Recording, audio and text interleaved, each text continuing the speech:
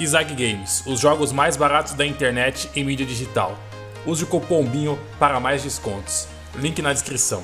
Fala aí, guris, massa do YouTube Game, fala, estamos aqui em mais um vídeo de Pro Evolution Soccer e dessa vez vamos falar aqui sobre Pro Evolution Soccer 2020 ou mais conhecido aí para os íntimos sobre PES 2020 Hoje eu vou fazer um vídeo muito interessante aqui. É, deu um trabalho fazer esse vídeo, mano. Então valoriza aí, deixa o seu like na descrição que, na verdade, é, isso vai ser muito importante até para que esse vídeo consiga atingir patamares maiores, porque quem sabe a Konami não vai ouvir aqui esse vídeo, ou vai ver esse vídeo, ou vai ouvir as nossas opiniões sobre o que deveria melhorar ah, no modo rumo ao estrelato aí, né? O modo que você joga com um jogador só.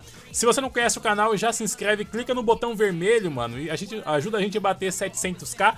Não esquece também de deixar o seu like, é muito importante, e compartilhar esse vídeo com o máximo de pessoas que você conseguir, para que mais pessoas vejam, conheçam o canal e compartilhem assim uh, substantivamente, como dizia o Chaves, né? Não esquece, na descrição tem a Zag Games, tem a BM PES e tem o meu Instagram, mano. Fica à vontade pra seguir lá. Fica à vontade também pra comprar os jogos na BM, da BM PES, comprar o patch da BM PES e também da Zag Games. Uh, tá tudo na descrição. É bom, vamos que vamos pro jogo. Uh, vou separar alguns tópicos aqui então. É, mil perdões aí por não ter usado Facecam nesses vídeos de PES 2020. É que realmente eu tô nas partes finais aí de uh, arrumar o meu quarto. E depois vocês vão ver como vai ter as lives e tal. Eu vou mostrar talvez num próximo vídeo pra vocês verem como é que tá. Tá no finalzinho já, terminando. A gente volta com a Facecam e mais outras coisas aí. Bom, enfim, vamos pro vídeo aqui, sem enrolação. A gente vai falar a primeira coisa sobre o a, número 1 um aqui que eu separei, é o treino, certo? O treino no rumo estrelato. A gente sabe que o modo do rumo estrelato a gente tem que só é, ir lá no, no modo treino e colocar os pontinhos pra gente treinar. Então eu vou usar um exemplo aqui, por exemplo, do meu jogador. Então, esse aqui é o famoso menu de treino do PES 2019, assim como foi o 2018, enfim. É extremamente pobre, né? Você, ah, chutando, passando, ainda no gerúndio ainda, né? o, o, ger, o gerúndio total aqui, né, velho? Drible, defesa, velocidade, físico. Aí colocaram mais duas coisas, que foi aquela habilidade do goleiro, colocaram aqui também, se eu não me engano, que não tinha isso aqui é, nos outros pés e colocaram aqui. Então, uh, enfim, se você joga com goleiro, você também pode colocar essa habilidade aqui no goleiro. No mais, você consegue aprender os treinos de habilidade, certo? Que é o que a gente aprendeu aqui com o meu jogador. Então você tem os treinos e também você tem a, a opção de aprender as posições, né? E jogando em campo.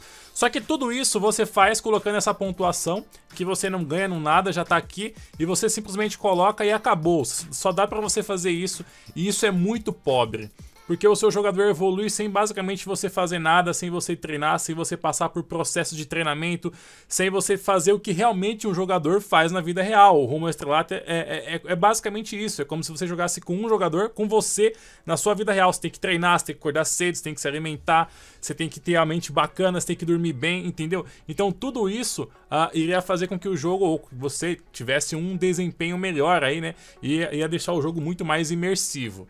Bom, e como eu acho que isso deveria ser feito? A gente tem um menu de treino no PES que basicamente não serve para nada.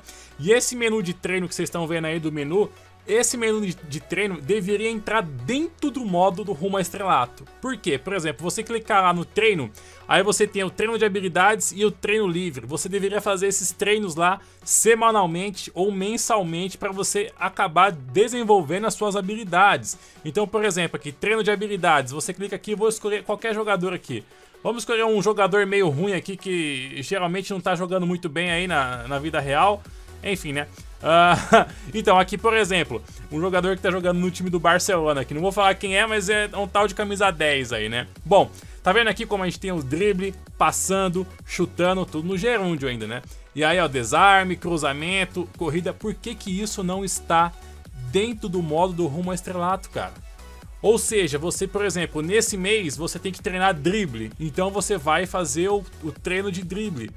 Aí no mês que vem, pô, vou ter que melhorar um pouco o passe ali e tal. Tá pensando. É, o, o, treinador chega para você e fala: Ah, vamos aí, você não tá passando tão bem, ou não tá chutando tão bem. Vamos fazer o seguinte, ó, eu acho que esse mês é bom você treinar mais passe. Vamos, vamos fazer um treinamento aí para você focar no passe, focar no chute. Vamos fazer um tempo aí. Então você ia lá e treinava passe, e treinava chute. E aí tem todos os menus aqui, todos os jeitos de treino, você treina aqui.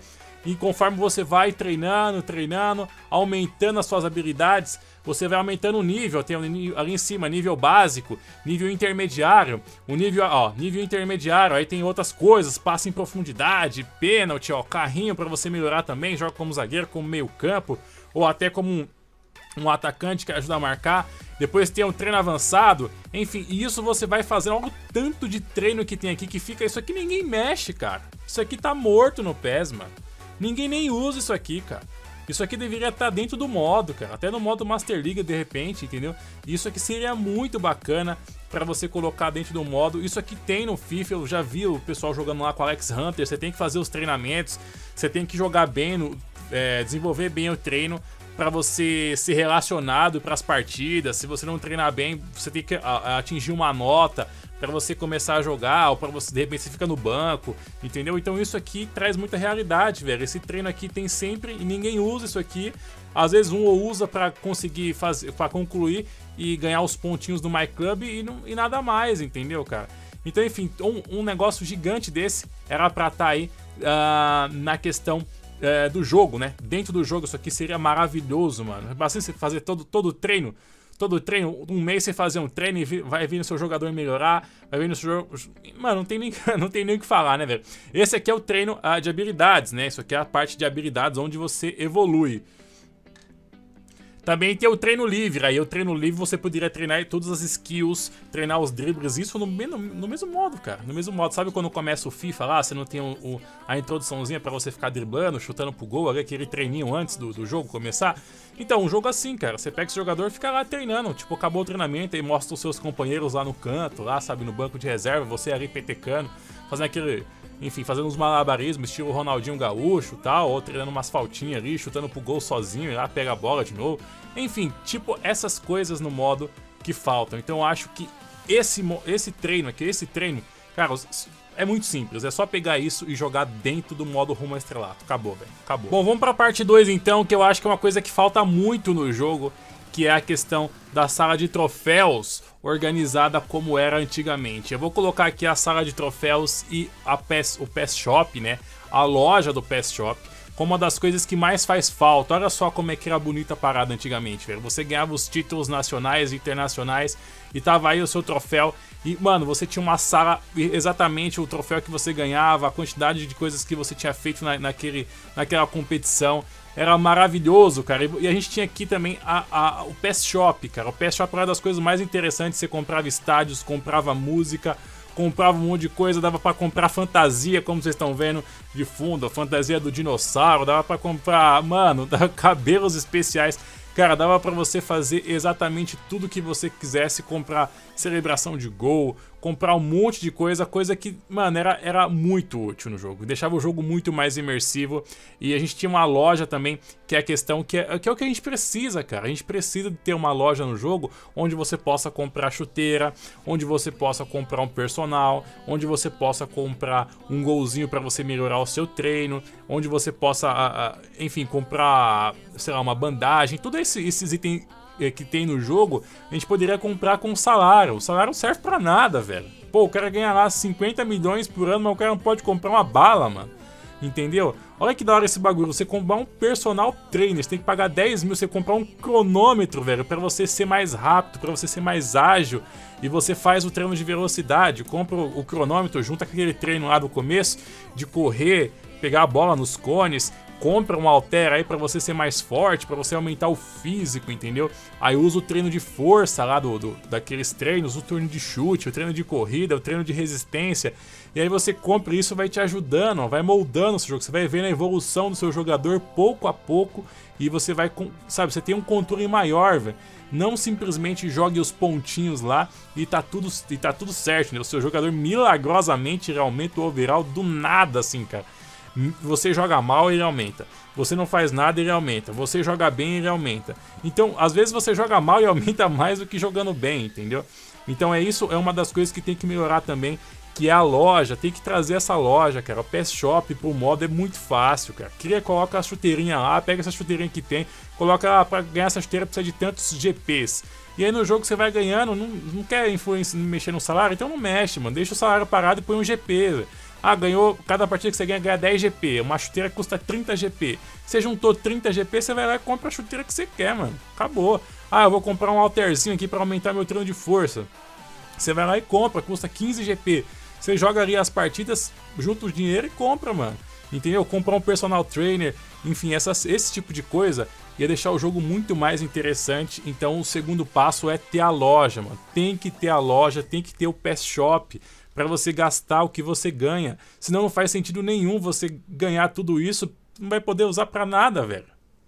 Bom, então chegamos aqui então na parte 3. Como vocês estão vendo aí, o Sérgio Ramos. Então a gente vai fazer o seguinte, aqui na parte 3 a gente vai fazer, vai falar sobre uh, a questão da edição, né? A gente tem limitações na edição, a gente não pode colocar faixa, a gente não pode colocar esse, esse essa bandagem no dedo aí, esse finger band, a gente não pode colocar tatuagens, a gente não tem muitas escolhas aí de algumas opções, como muitas escolhas que tinham antigamente sobre nariz, sobre boca, a gente também não tem a opção de mudar as faixas, não tem essa opção aí de colocar máscara no jogo, que seria muito interessante. Isso acontece na vida real, isso aí não é zoeira nem nada. O cara às vezes usa a máscara, ele tá machucado.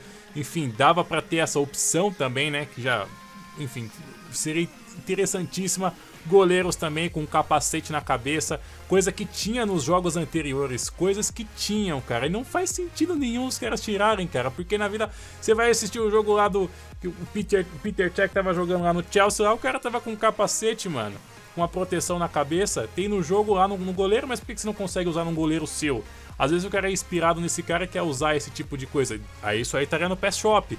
Você vai lá e compra no PS Shop, personaliza seu jogador entendeu? Outra coisa, treinador, você vai fazer um treinador, moda alguma coisa, poder colocar boné também, cara, é uma coisa simples, mano, é uma coisa simples, coisa que já existia no PES uh, 2019, 2009, né? 2019 nunca vai ter isso, né? é uma coisa que poderia existir.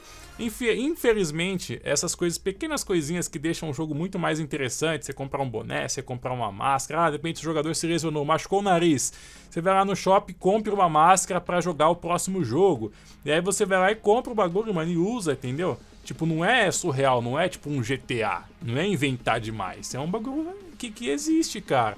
Ah, a questão também das bandagens, né? Você se machucou, colocou uma bandagem igual essa aí que tá do Cristiano Ronaldo uh, na perna dele, que poderia estar tá ali também no jogo, né? Como vocês estão vendo aí, por exemplo, no PES, mano, PES 4, velho. PES 4 tinha essas paradas e agora no PES 2019 não tem absolutamente nada, mano. É só mato. Se você visse isso aí no PS 4, você falava, mano, quando saísse o PES 2019 a parada vai ser muito louca. Mano, vai ser vida real, cara. Eu vou estar tá jogando, eu vou estar tá sentindo que eu vou estar tá jogando dentro do campo. A gente passou todo. Passou, Passaram-se aí basicamente uns 15 anos e nada disso aconteceu, né, cara? Eu não sei a época que saiu o PS4, mas provavelmente como sai todo ano. Então, garanto eu, acho que faz, fazem 15 anos, né? Coisa simples, né? Como essa daí que vocês estão vendo de fundo, já poderiam ajudar o jogo demais, né? A dar essa, esse tipo de evoluída, né? A outra coisa também que a gente tem é essa questão da bandagem, né? Na cabeça, quando o jogador é, ele se machuca de alguma forma, é, teria que aparecer lá, o, enfim, a forma que ele se machucou e tal. E aí nessa, enfim, nessa mensagem, uh, você compraria um item ou usaria um item, né? Como esse, por exemplo, de uma bandagem, já que o jogador é completamente personalizável lá no rumo ao estrelato, você conseguiria usar esses itens aí sem problema nenhum, o que ficaria muito mais interessante, né, e imersivo, né, para você jogar e ter coisas diferentes também, né.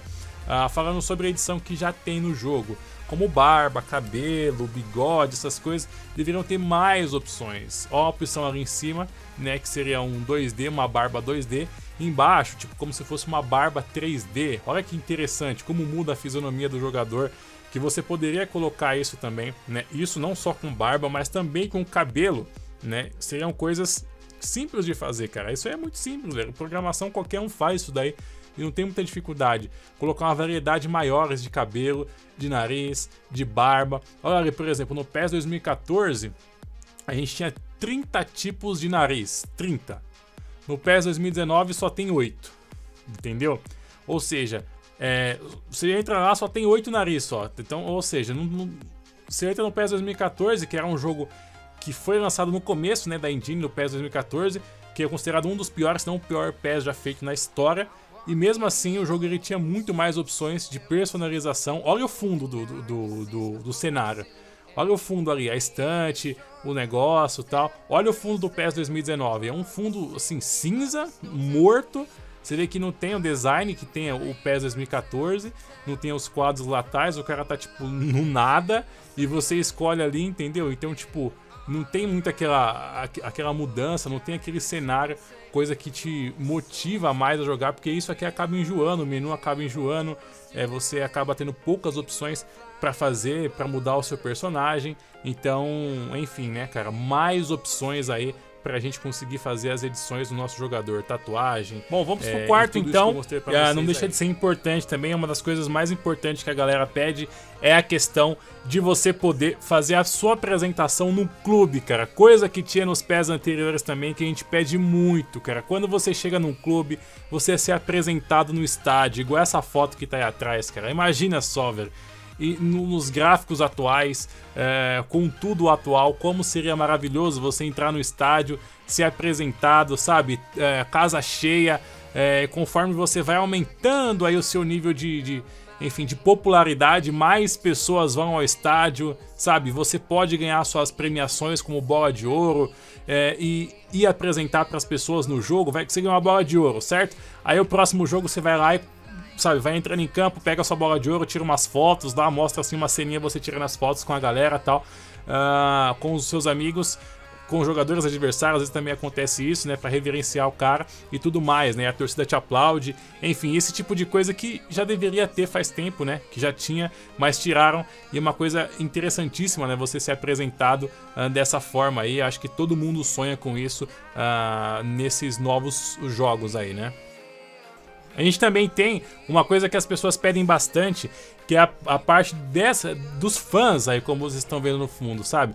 Tipo, um cara vai lá, você jogou bem, aí mostra uma cena de fundo, ou mostra algumas imagens, como essa imagem aí, você dando autógrafo para as pessoas, é, sabe? O, os torcedores indo lá, se você não joga bem, o torcedor de repente fica chateado, não vai ninguém, não tem autógrafo, enfim, não vai. a, a, a torcida é, vai a você no estádio, esse tipo de coisa. Então, como vocês estão vendo de fundo, é, mano, é muito simples. Você jogou, ganhou um campeonato, a torcida vai lá te reverenciar, você dá um, um autógrafo ali e tal e vai deixar o jogo muito mais interessante quando você joga bem, quando você joga mal. Aí poderia fazer algumas cenas diferentes para não ficar tão repetitivo, né? Mas também dá para ser feito isso, às vezes pode fazer com um companheiro do lado, às vezes pode fazer o clube inteiro, a torcida chegando lá no, no, no campo de treinamento e tudo mais. Outra coisa interessante, né? Você ter ali o campo de treinamento, como tinha no PES 2013, aqueles vídeos de fundo, você tem um campo específico, né? De treino, né? Então aí mostra ali certinho para onde as pessoas conseguem chegar, a torcida,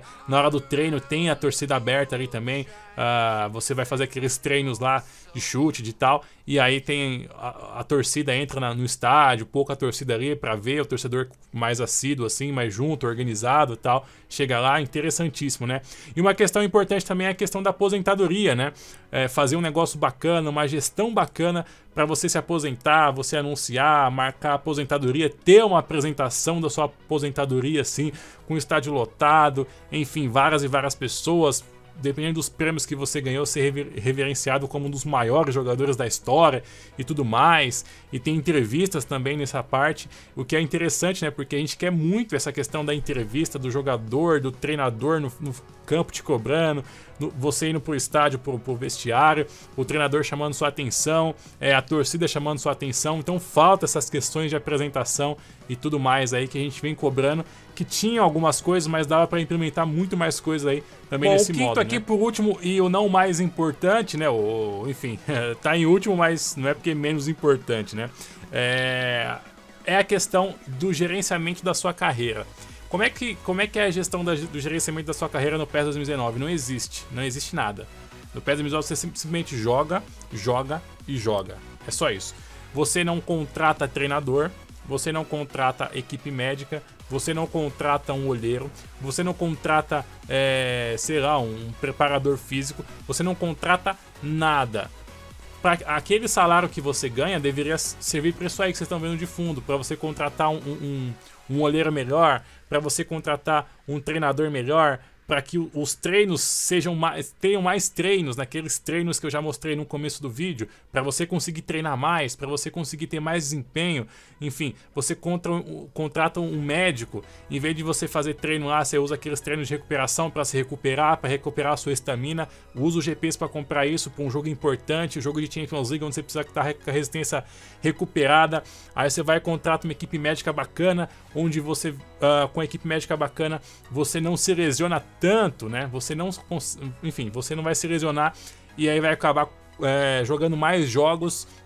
Aí você compra um olheiro bacana para você conseguir ir para aquele clube, pô, para ir pro Barcelona, pô, preciso de um, um sabe, eu preciso de, realmente de um de um treinador, enfim, de um, de um empresário, né? Ah, o olheiro é o cara que vai ali te olhar, enfim, mas vocês entenderam o que eu tava falando, né, velho? Mas um empresário, um olheiro, e aí você consegue ter uh, contrato com grandes times, né, da Europa, por causa desse empresário que, mano, conseguiu fazer uma negociação assim, a, a, animal, conseguiu colocar você, tipo, no Barcelona, no Real Madrid.